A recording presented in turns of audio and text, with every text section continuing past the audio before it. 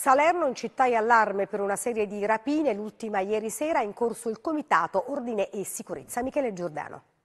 A Salerno allarme rapine. Ieri sera l'ultimo assalto a mano armata in una tabaccheria in via Fiume. Il titolare, intervenuto per difendere la figlia che era alla cassa, ha reagito mettendo in fuga due banditi scappati in scooter. Hanno sparato un colpo, nessun ferito. Avevano il volto coperto con maschere della casa di carta, come in una recente rapina in un supermercato cittadino. C'è stata una colluttazione.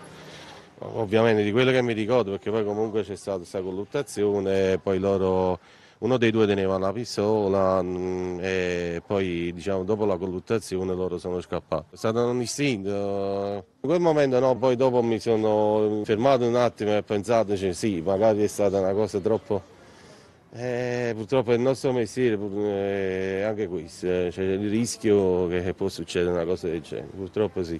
Nelle ultime settimane hanno fatto innalzare la preoccupazione e l'attenzione le rapine, ma anche altre azioni criminali, come il raid notturno con principio di incendio ai danni di un ristorante e il tentato omicidio in pieno centro di un diciassettenne. Un colpo di pistola al petto durante una lite per motivi banali, fermato un diciannovenne. In manette anche una banda di ladri d'appartamento. E proprio per questa mattina il prefetto Francesco Russo aveva già convocato un comitato per l'ordine e la sicurezza. In sede di comitato abbiamo fatto già una, una verifica, c'è da un lato attenzione massima e ci sono sviluppi investigativi che riguardano anche gli ultimi episodi che sono accaduti, ma c'è anche la consapevolezza e diciamo anche l'orgoglio di aver posto in essere una serie di operazioni molto importanti